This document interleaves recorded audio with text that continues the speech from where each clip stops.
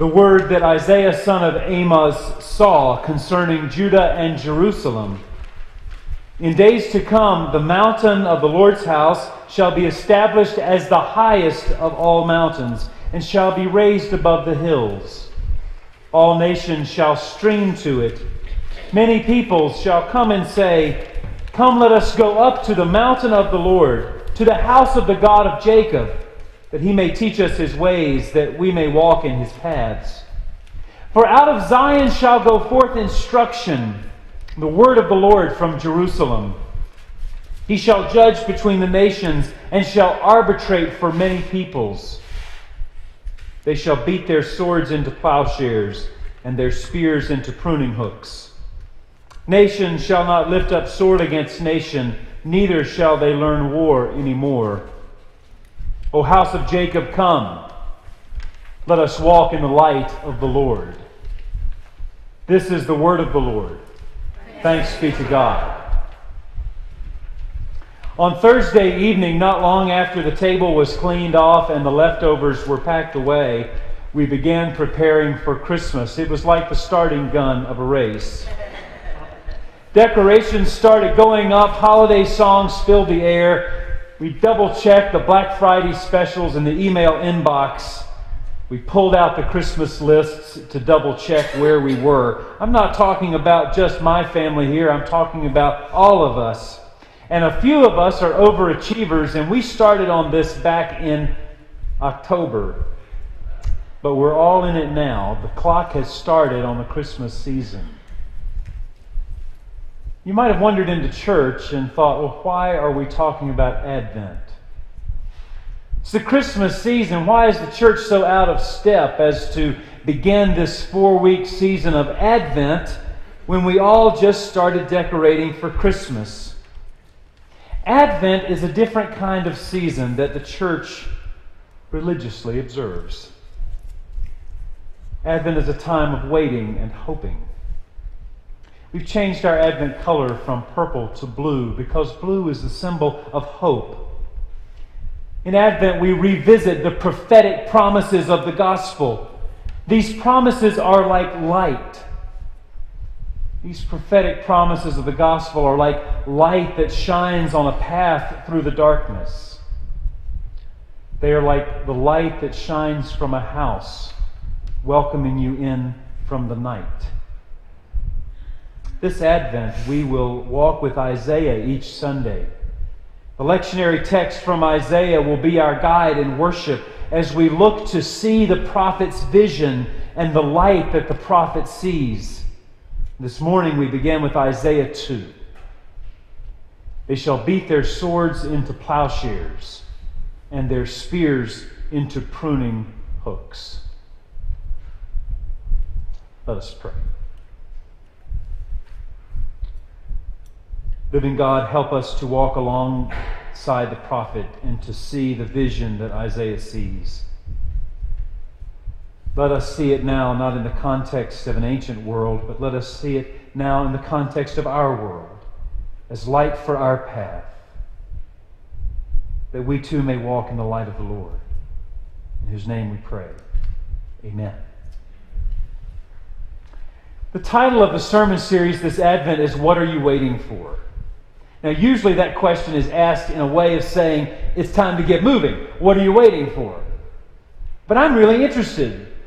What are you waiting for? Everyone's waiting for something. We're waiting for children or for grandchildren to be born. We're waiting for relationships to develop. We're waiting for a plan to unfold. We're waiting for health to return. We're waiting for a new stage of life to come. All of us are waiting for something. Some of us are simply waiting to die. All of us are waiting for something. It is an irreducible fact of human life. As Lewis Smedes says in the quote in front of your bulletin, as creatures who are without the power to create the future we hope for, we are stuck waiting. We are made to wait. It's important to know what you're waiting for. Because what you're waiting for is a clue to what you're hoping for. And it's important to know what you're hoping for. Because what you're hoping for has the power to shape your life. And what has the power to shape your life has the power to shape your soul. What are you waiting for? It's another way of saying, what are you hoping for? If you're hoping to nurture a loving family, then that hope guides your actions and your decisions and where you invest your energy and your resources. If you're hoping to climb high on your career ladder, then that hope guides your actions and your decisions and where you invest your resources. Even if you're just hoping to have a really good time before you check out, that hope guides your actions and where you invest your resources and your decisions. What we hope for gives shape to our lives, and so it's important to know what you're hoping for. The prophets of sacred scripture write down their visions in order to shape our hopes. These prophets do not write simply to tell us what's going to happen in the future. They are not writing to tell us when the world will end.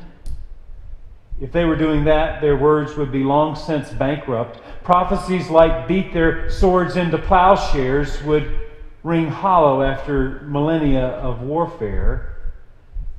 Prophets do not write to tell us what the road looks like in the future. Prophets write to shine the light of the future on the road for today. Let me say that again. Prophets do not write to tell us what the road looks like in the future. Prophets write to shine the light of the future on the road we walk today prophets write to shape the hopes that you live with today. Because if they can shape your hopes, they can shape your life. And if they can shape your life, they can shape your soul. So, what are you hoping for? Do you know?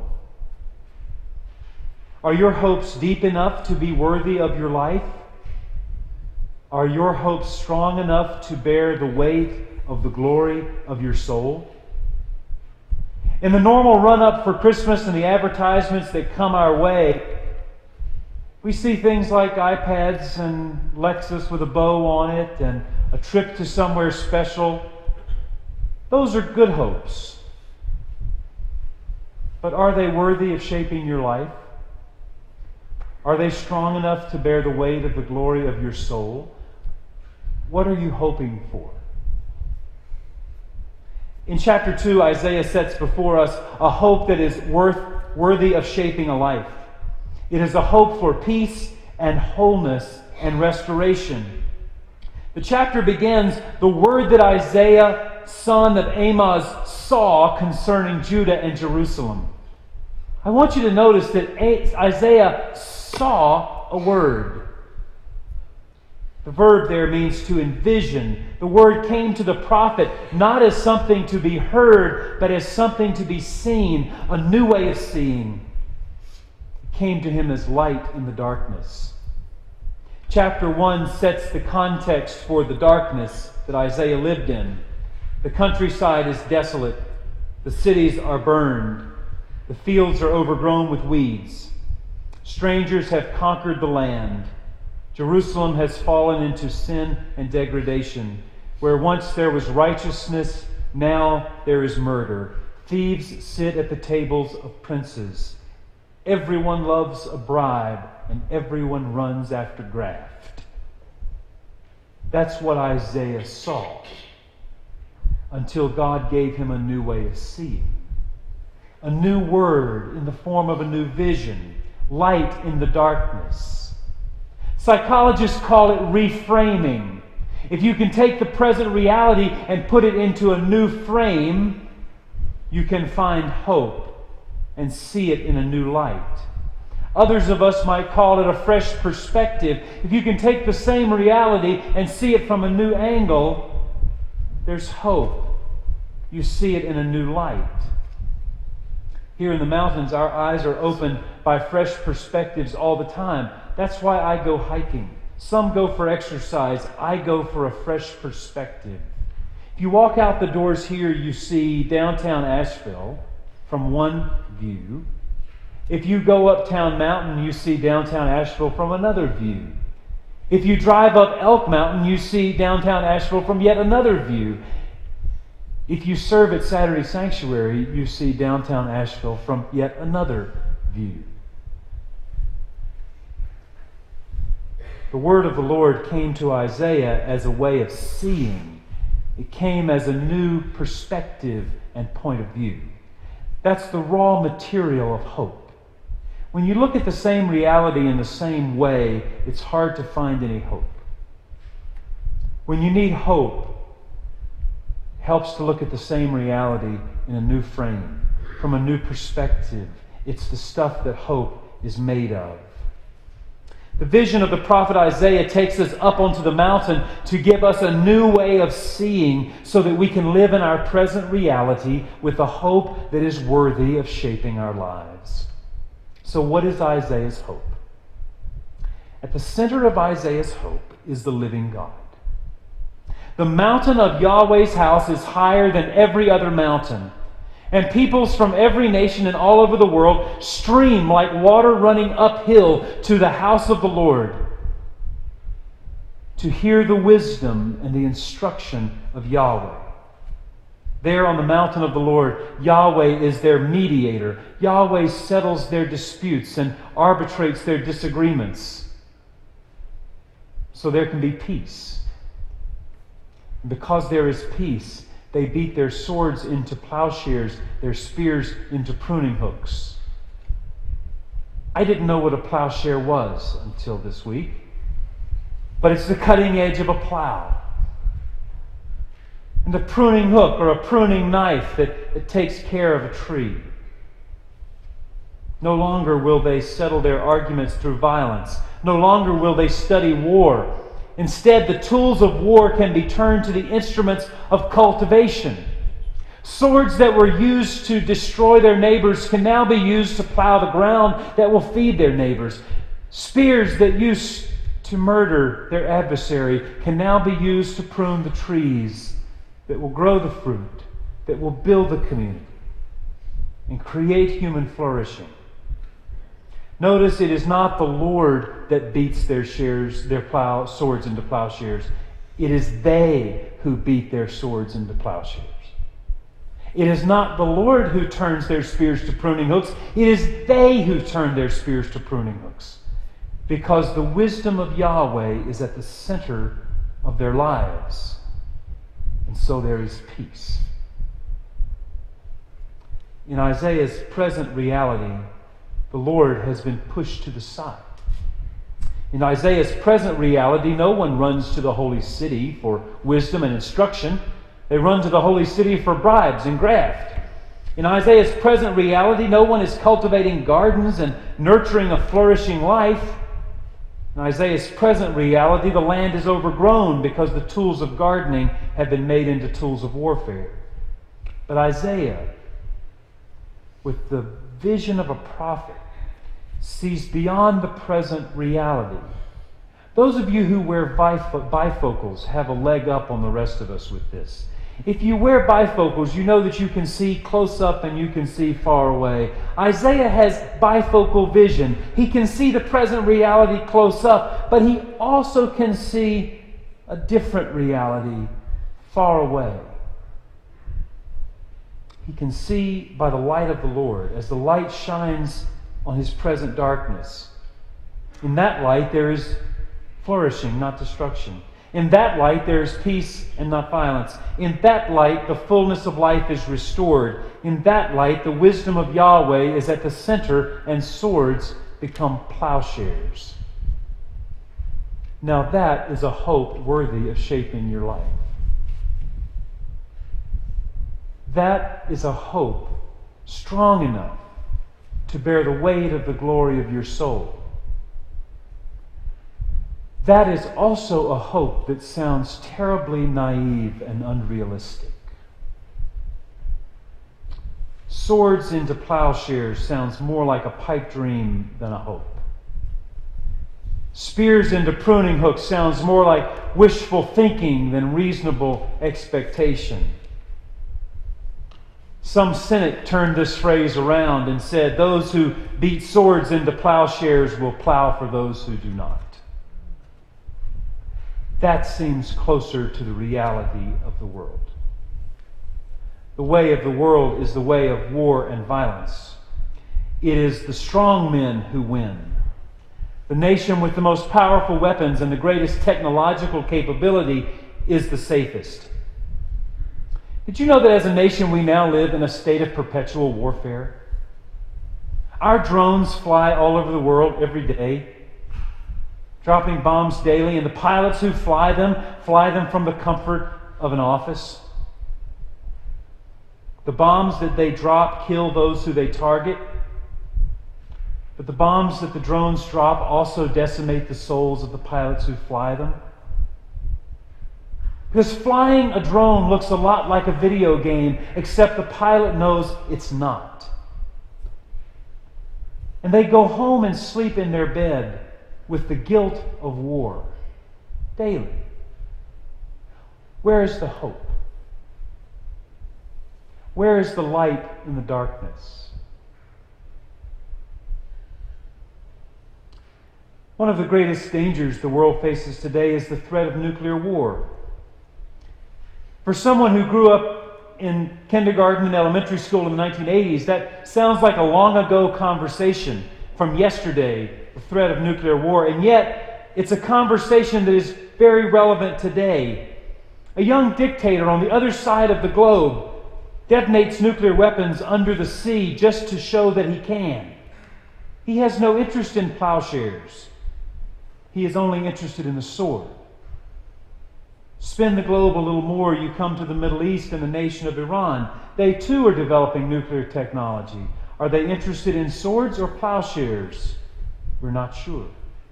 And it's frightening. Where is the hope? Where is the light in the darkness? Too many of us give in to the cynical shrug that's just the way the world is. We decide to give up hope and walk in the dark. Where is the hope? Where is the light? I believe it is in the light given to Isaiah.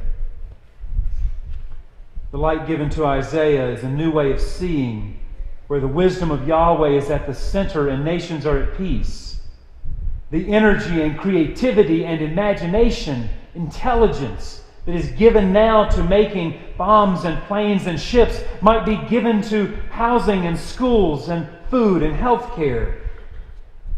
There's no need for war anymore. There is peace among nations. Does that sound realistic? Not at all. But why would you settle for reality when you can live with hope? Let me ask that again. Why would you settle for reality when you can live with hope? This is the kind of hope that's worthy of your life. The vision of a world without war, a vision mandated by the great God of Zion, is more than a fanciful dream of a few overly optimistic peaceniks. When Martin Luther King Jr dreamed of a world without racism. He was doing more than dreaming, he was casting a vision, a vision of the kingdom of God that we could live into. John Holbert writes If we can see the vision, we can live into the future with it. We simply must see the visions that God has for us and live always into them and toward them. This is what Isaiah means when he says, Walk in the light of the Lord. Walking in the light of God means letting the seeds of the kingdom of God take root in your soul and grow. Means letting this new way of seeing shape your plans, your energy, your imagination, your intelligence, your action, so that you do things that make for justice. You do things that establish peace. You, you turn swords into plowshares and bend spears into pruning hooks. You place the wisdom of Yahweh at the center of life. Walking in the light of God means walking in darkness with an inner light. It means an inner wisdom, an inner vision that the world around you may not share, but you bear the light anyway. Walking in the light of God means letting the hope of God's prophet become your hope. Your hope. This is a season for hope. All of us are waiting and hoping for something. The question is is what you're hoping for strong enough to bear the weight of your soul and worthy of shaping your life? The prophet invites us into a new hope. Will we make it ours?